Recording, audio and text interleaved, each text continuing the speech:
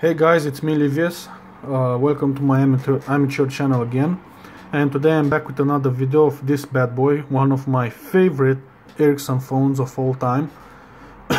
I hope that the battery on this one still works because it is very old. And unfortunately, it's not in such a good shape as you can see. It is missing a button over here.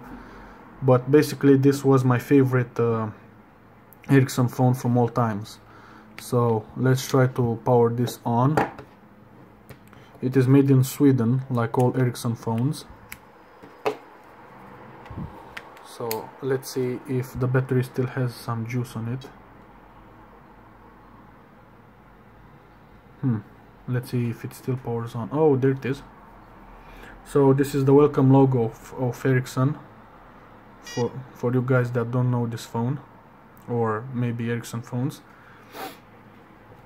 I always loved the, on Ericsson uh, this color that they they only use this color but I really loved it back time because I think uh, a lot of people were sick of, uh, of uh, Nokia's green uh, green backlight.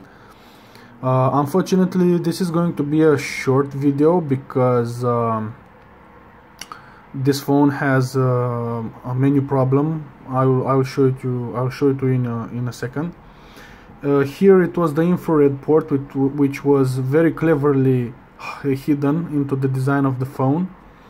Uh, I didn't like about this phone that it had an external antenna but other than that there is there was no problem. I remember this phone was extremely expensive at the time they uh, launched it and uh, it was my favorite Ericsson of all time. I really looked for this model a lot of time before uh, finally finding it and uh, adding it to my collection. I always liked that it had the same color as Nokia 6310i. Um, this uh, gray it was it was very nice i i always thought uh, at that time that uh, uh this was ericsson's reply to nokia 6310i because um, the phone was uh, evenly matched with uh, 6310i um, as you can see they are both the same thickness. They are both the same uh, the same height. So uh, what I liked about uh, Ericsson phones was that the battery if you had the slim version uh, the battery would have entered the phone perfectly and uh, let it uh, with no battery mark. I mean the battery was not like this. Anyway so let's quickly go through the menu I have the phone book menu over here. Unfortunately this button doesn't work anymore. Uh, this button was up and down. You could use it to go like this up and down in the menu. This was uh, uh, this is what uh, this button did. And also uh, you could uh, set the volume up and down in calls. As you can see Ericsson also included um, help menu but as you can see it was more advanced uh, from Nokia because every single menu was explained. Uh, what I didn't like about Ericsson phones was that in the past their soft their software was uh, slow very slow and uh, it had to it had lag in the menu. Um, as you can see the menu differs a lot from Nokia phones this one uh, this one uh, has the menu faster because uh, it was basically a newer phone uh, a lot more newer than the other ones. And it was also their high-end uh, device their flagship device for that time. And I think they listened to their customers and updated the software so it could it could be faster. Uh, this is the settings menu where we have our sounds and alerts basically something like uh, Nokia where you have uh, the profiles options and things like this. It also had a minute minute rem reminder which uh, gave you a short beep uh, in the headset when you were talking uh, after every one minute that passed.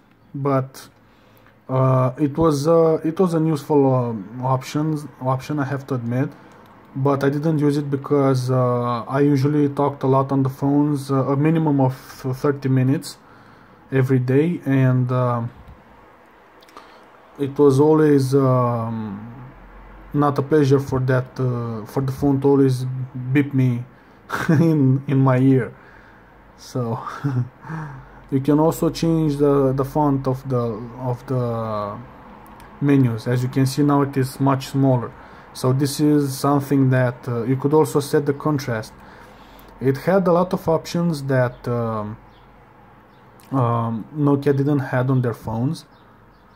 So uh, I think and I'm sure that Ericsson was their direct competitor back then because all the other phones basically didn't matter to Nokia. I'm going to show you I think in the next menu extra. Uh, after we pass this menu the phone will uh, the phone will uh, uh will freeze and I have to restart it. This is the only problem that this that my phone has this phone has because uh, it has a software problem and as you can imagine today nobody's going to fix it anymore. So when I enter WAP services this happens the phone basically dies like this. So there's nothing I can do except uh, removing the battery like this so yeah. To be honest with you guys I'm very happy that I have it even in this condition because it's a very rare model and it is also expensive. And if it is in a uh, better condition than mine then uh, the, the price is even bigger so as always thank you very much for watching. Uh, if you if you didn't subscribe to my amateur channel you can do it. Uh, I I hope I can post more videos in uh, in the future. And uh, please uh, hit the thumbs up and share the video with your friends or other nostalgic people like us. And this is for today. I'm going to I'm going to play my my Nintendo 3DS now. So see you guys in the next one. Bye